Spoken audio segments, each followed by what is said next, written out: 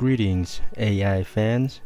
Welcome to another tutorial from How to Webmaster. Today I'm going to show you how to create unique article content with ChatGPT with a built-in feature that can bypass AI content detectors. So let me show you. In this example right here, I'm going to tell ChatGPT to write an article comparing the online shopping giants Amazon versus Walmart. And let's wait for it to finish its job. Alright, it's done. Let me uh, copy right here. I'm going to now head over to 4ppo.com, the free AI content detection tool, and let's paste it in here. I'll leave all the links down below for you guys to check it out. This is a free AI content detector, limited usage. So let's wait for it to process and see the results. So 604 word count. Probability of human generated is only 7%. Probability of AI generated is 90 two and a half percent. And these are the highlighted portion of the article which are AI written.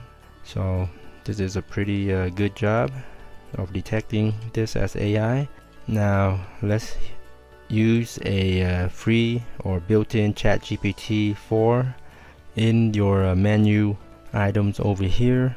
There's a feature called explore GPTs and this is only available to ChatGPT Plus users. So it's not totally free but all these plugins or most of them are free with your uh, membership. So they have some pretty cool GPTs you can use. So if you head over to the writing parts and there's a few humanizing content tools or GPTs you can use. So we got something called Humanizer Pro, AI Humanizer Pro, and these are uh, from different companies and these are free to use. Human Writer Humanizer.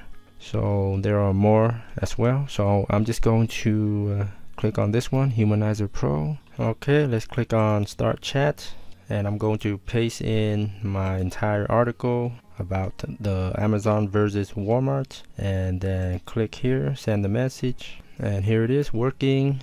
And now it is going to write a uh, new humanized version of the article. So let's see how it goes. Alright it's done. So let me copy right here and I'm pasting this back to the 4people content detector for AI and make sure you delete the last part right here. This is from the Humanize Pro uh, plugin or GPT let's check out the new text.